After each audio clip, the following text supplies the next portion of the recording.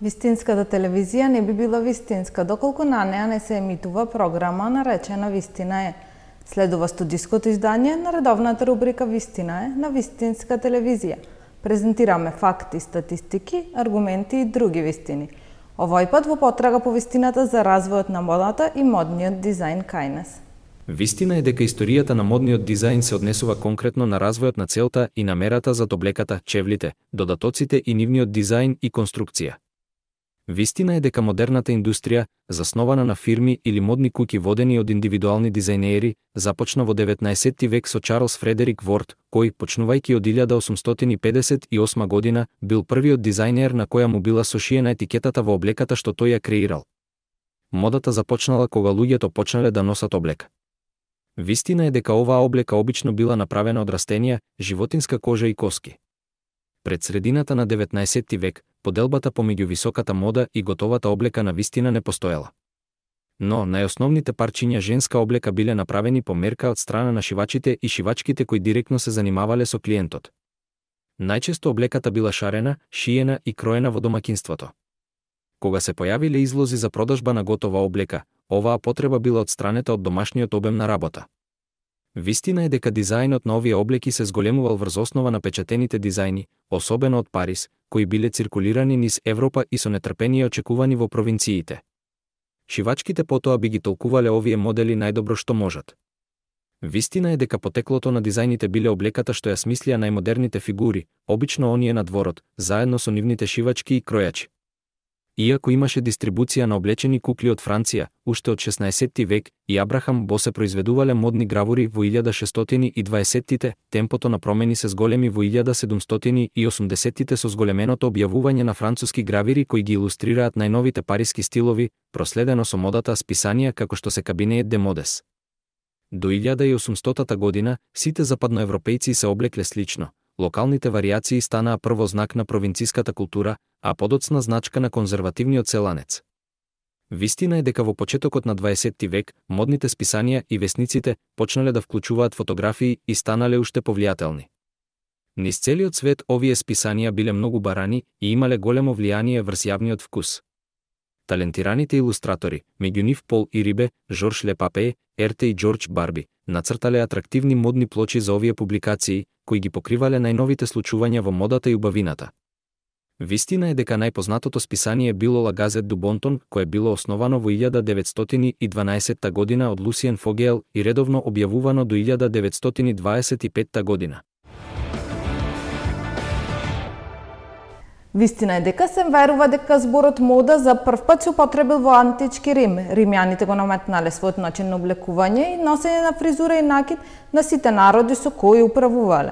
Така тие создале мерката со кој што човекот требало да ја гледа големата римска империја.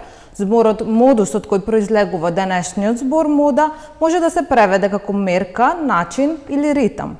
Вистина е дека првите модни каталози се појавиле во Франција во 17 век и содржале мода која што можеле да ја носат само благородниците, односно така наречената висока мода. Вистина е дека со развојот на индустријата, високата мода започнала да ја губи битката со масовното производство акцентот паднал на модата за која не требало многу време да се подготви, односно станува збор за така наречената мода подготвена за носење, односно денешната улична мода. А вистината за денешната мода во Македонија ќе ја дознаеме од модниот дизајнер Александар Таковски. Здраво, Александар. Здраво. Која е вистината за модата кај, кај нас и колку сме близко до онаа светска мода? Пред се да ви се заблагодарам за поканата и да ги поздравам гледачите. Една прекрасна ретроспектива на историјата на модата. А, вистина за модата, мислам дека нема само една, има повеќе вистини. А, модата спаѓа во уметност, а во уметноста слободното интерпретирање го носи приматот и затоа и сметам дека а, модата нема само една вистина. Светската мода е а, еден поим кој што кај нас многу сакаме да го користиме и мислам дека Македонија Со талентот и со она што го пружат уметниците, не само во модата, во сите уметности можеме да се не можеме туку и сме на едно ниво со светската мода, мислам дека не не пречи само економијата и малиот пазар.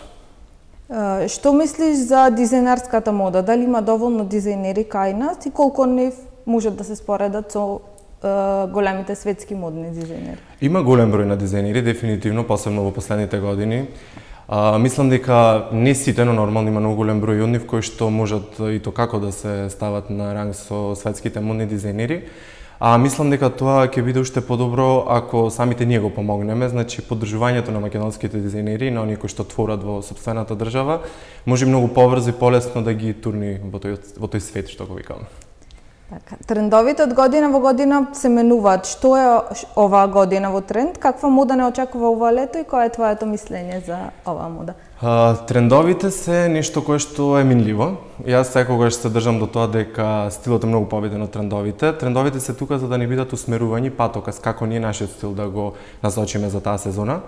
А, како и секоја сезона нормално и ова летна сезона, јаките бои се во прашање, ти ја носиш баш таа боја која што ќе го носи приматот сезона во пролет лето 2024 А, мислам дека најдобрата формула е да ги гледаме трендовите како нешто кое што ќе ни поможи во нашиот стил, бидејќи трендовите, како што кажав, се минливи, а стилот е вечен.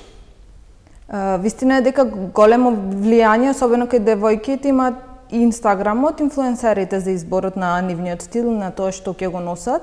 Многу млади следат моментални трендови. Дали мислиш дека она што е тренд во моментот може да го носе секој? А, Има еден голем проблем во, во тоа. Глобализацијата ни наметна се што се случува во светот ние да го гледаме тука.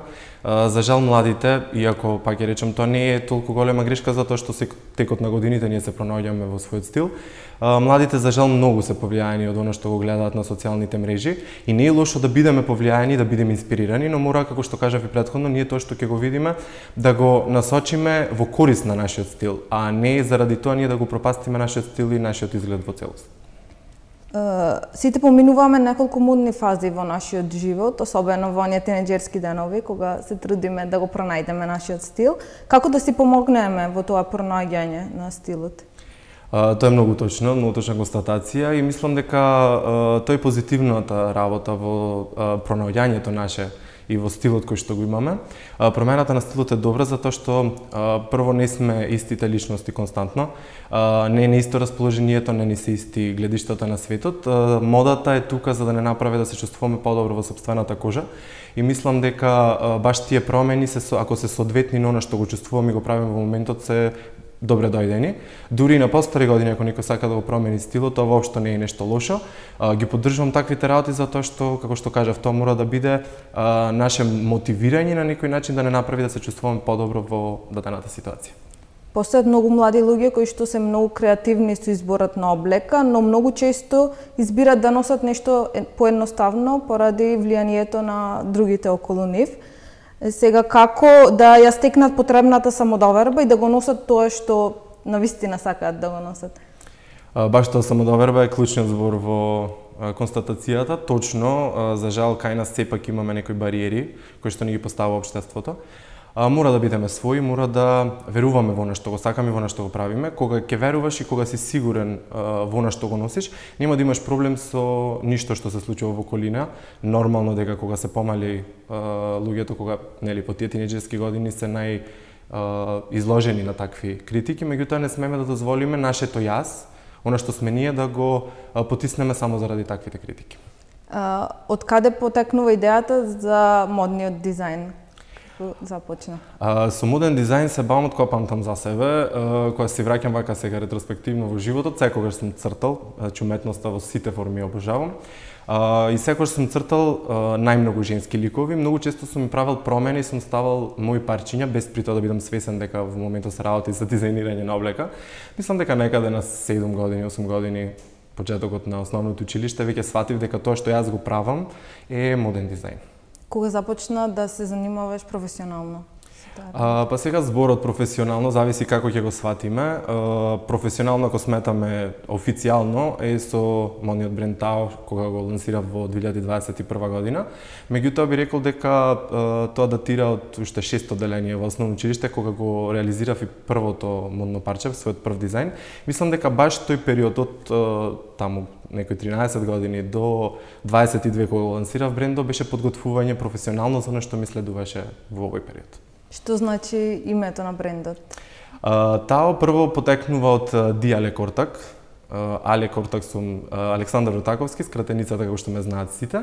А исто така има уште едно значење, односно самата филозофија Тао, која што лично ја почитувам и ми значи. А, колку колекции имаш до сега?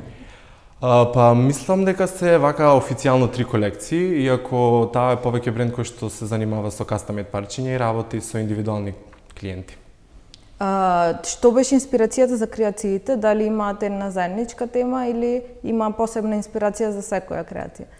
А, инспирацијата кај мене буквално може да дојде од секаде. Ја црпам од сите можни сфери. Архитектурата нормално како моја базична професија ми е многу голем ми има многу големо влијание во на што го работам, исто така и уметноста, сликарството, музиката, сето тоа ми влијае, но мислам дека најголема инспирација за се што правам и општо и за колекциите и посебно за кастамит причињата, ми се луѓето, самите индивиди, затоа што како човек што може човек да инспирира, не може ништо друго. А, дали твоите креации се, за, се наменети за секојдневната улична мода или за посебни пригоди?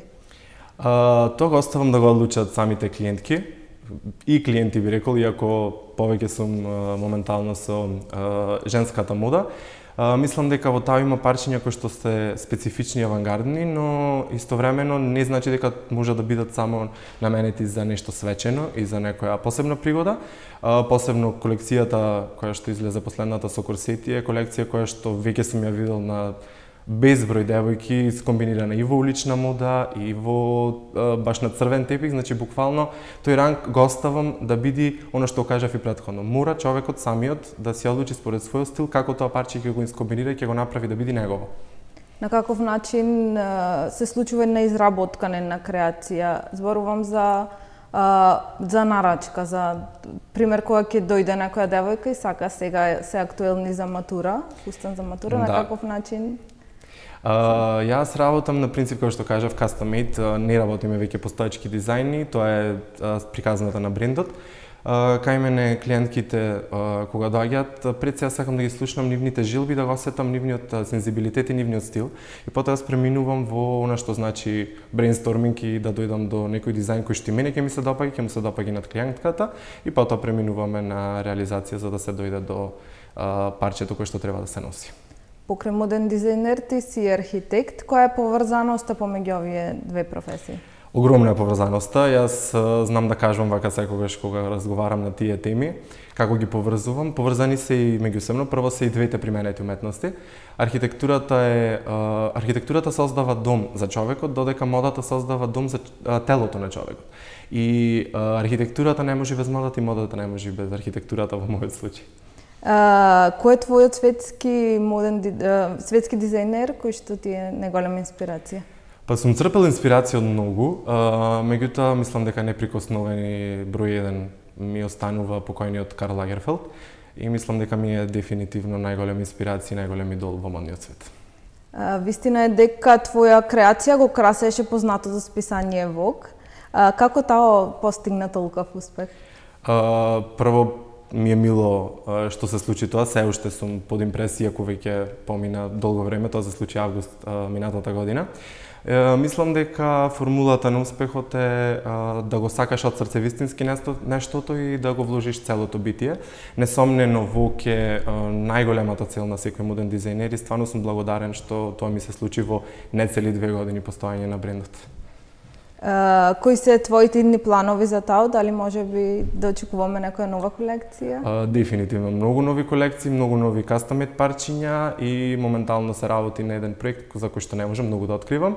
Меѓутоа ќе ги повикам сите ваши гледачи и сите кои што го знаат или сега го дознаваат брендот Тао да пратат што се случува и за брзо ќе видат на каков за каков проект зборувам.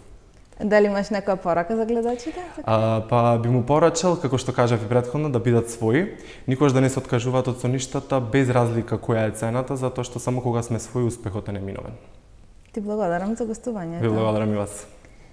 Ја дознавме вистината за модата кај нас, со факти и аргументи за некоја друга интересна тема се гледаме во наредното издание на Вистина